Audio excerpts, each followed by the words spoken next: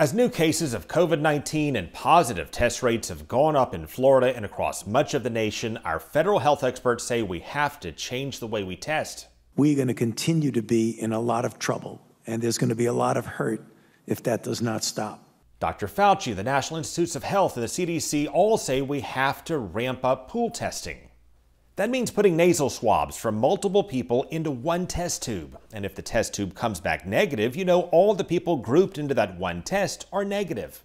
So you don't have to run individual tests on each one. And if a tube tests positive, you go back and do individual tests for everyone in that group.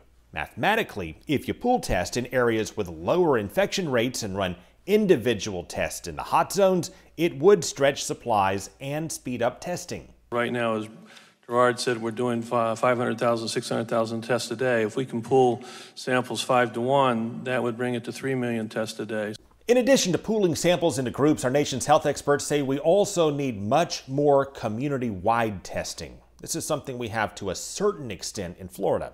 For example, the University of Miami has been randomly sampling people in South Florida to find how prevalent the virus antibodies may be among the general population. Well, our federal leaders say we need to do the same thing, but with nasal swabs and on a much larger scale. We've got to get dust on the boots. We've got to find the people and test entire communities to get our positive cases. That's the type of action we've seen in North Carolina, and that's what we need in these other local communities. But we don't know if the Trump administration can pull any of this off because President Trump has said he does not want to speed up testing. He said he wants to slow it down.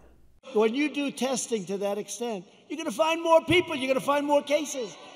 So I said to my people, slow the testing down, please. After the president said that, his team passed it off as a joke. He told his people to slow down testing is not true. It was a comment that he made in jest. It's a comment that he made in passing. Come on now, that was tongue in cheek. But that did not hold up because the president responded by saying it was not a joke. I don't kid. Let me just tell you, let me make it clear.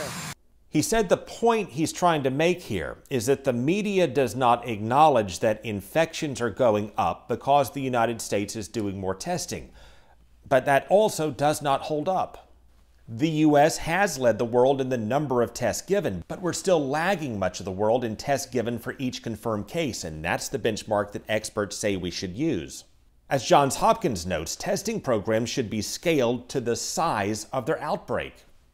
And our world data shows when you compare the scale of testing to the scale of the outbreak by nation, the U.S. has been near the bottom of the chart for weeks. This week we checked in at 16th in the world. Our governor and nation's health experts say it is not more testing driving the kinds of increases in new cases that we're seeing. It's increasing community spread in states like Arizona, Texas, and Florida. And the more you test, the more you expose where the virus is spreading, which is critical to fighting the virus and preventing further spread. That's where the administration got it wrong at the start of the pandemic by producing and distributing test kits that did not work. Now, as they develop a new testing process, they know this time it better work.